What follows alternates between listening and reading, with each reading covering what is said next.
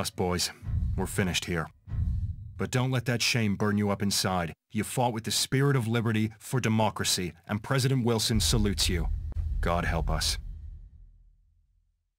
One can only speculate what might have happened if the German army had successfully defeated the Meuse-Argonne offensive.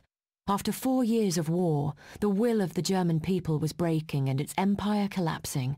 With American troops still arriving in Europe, an Allied victory would still have been likely.